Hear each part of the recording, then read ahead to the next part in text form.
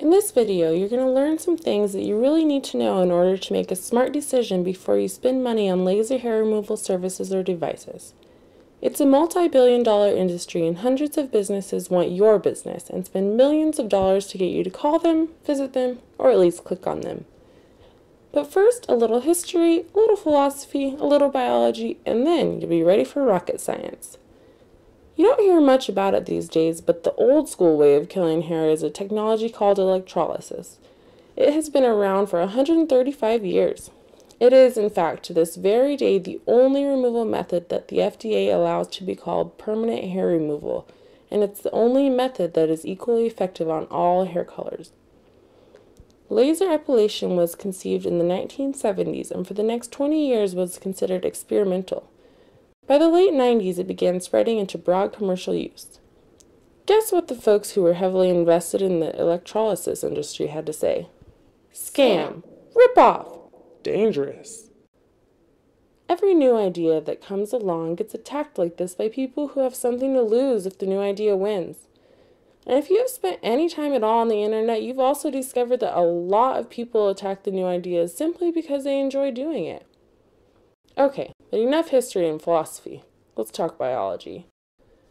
You're watching this video because you're probably tired of tweezing, shaving, or waxing. You've seen the gigantic billboards promoting laser hair removal services, as well as a lot of glamorous websites and slick infomercials selling pretty little gadgets you can use at home.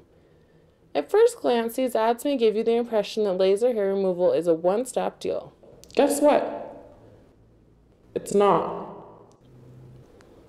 Each hair on your body has its own particular three phase growth cycle, and at the end of that cycle, it falls out and begins growing back from the same follicle. This diagram shows the three phases, but the one that matters when it comes to laser treatment is the first one, the anagen phase. It is only during this phase that a hair follicle can be disabled by a laser, even a laser that is used by a big company that spends a lot of money on beautiful advertisements. The anagen phase of particular hair might only last for a couple of weeks or it might be several months. It depends on a lot of factors the part of your body, your hair color, skin type, your age, and your genes. Very funny. Genes. You truly are unique, and you have your genes to thank. Laser hair removal is a progressively permanent procedure and it is necessary to repeat treatments over a period of several weeks or months in order to catch each hair in the anagen phase of growth, where it can actually be affected by a laser. We all want everything to be quick and easy, but when it comes to permanent hair reduction using high intensity light energy, just be realistic in your expectations and you won't be disappointed. And the younger we are, the more impatient we are, right? Another biological fact if you're in your late teens and early 20s, your body is still maturing. And one of the most determined parts of your body when it comes to getting established, putting down roots, so to speak, is your hair. Don't be discouraged if you discover that laser hair removal isn't as effective for you as it is for your older friends and family members. You will grow out of it. Okay, I know you've been waiting for the rocket science class, but it really is not that complicated. As a matter of fact, it's simple enough that many people actually buy their own personal laser system. The primary principle behind laser hair removal is selective photothermolysis, or SPTL. You want that in English? Laser light is able to heat dark matter, like the melanin in a hair follicle, without heating the rest of the skin. The heat seals off tiny blood vessels and nerves that supply nourishment and stimulus to the hair follicle, and it loses the ability to sprout hair.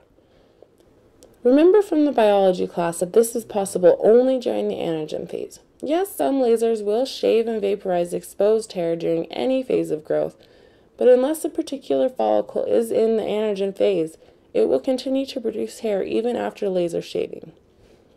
And remember from philosophy that new ideas always have critics. They also always have opportunists, people in companies who are afraid that a better informed consumer will be less likely to become a customer. Your right to be well informed is more important than any company's need for another sale. Once you know your options, any money you spend will be spent much more wisely. We hope this video answered questions you never even thought to ask. If you want more detailed information, we have a free report that you must read if you're considering doing laser hair removal yourself instead of going to a salon. Fill in your name and email address here and we'll send it to you right away.